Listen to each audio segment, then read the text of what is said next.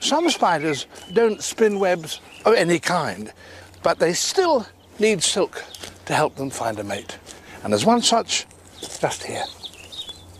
It's a female wolf spider, a solitary wandering hunter. Like all spiders, she trails a drag line of silk behind her wherever she goes. It's a safety line in case she falls or is blown away or needs to drop out of sight in a hurry. And here's a male.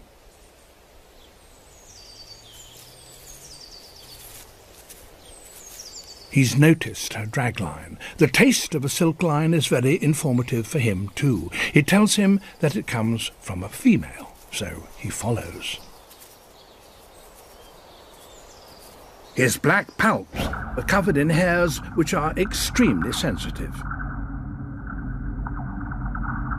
Each hair contains a nerve which can detect even minute quantities of female pheromone. Now he's within sight of her. Being active hunters, wolf spiders have excellent eyesight, so he uses his black palps to send visual signals to her.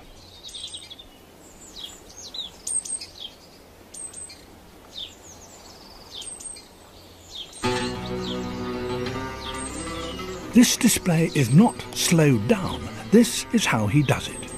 It takes a lot of energy, and while he's performing, his heartbeat triples.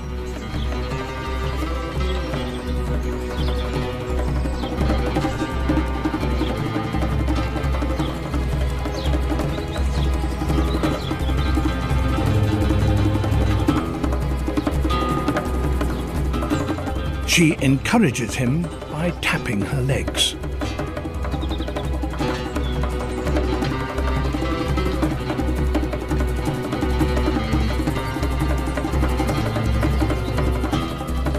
He's now within striking distance. The palps he's waving, like those of all male spiders, are loaded with sperm.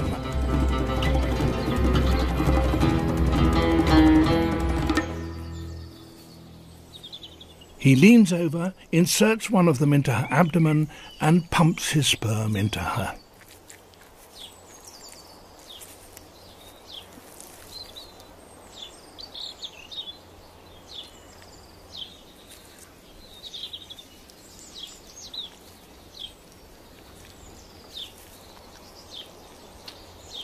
Then he does the same with the other.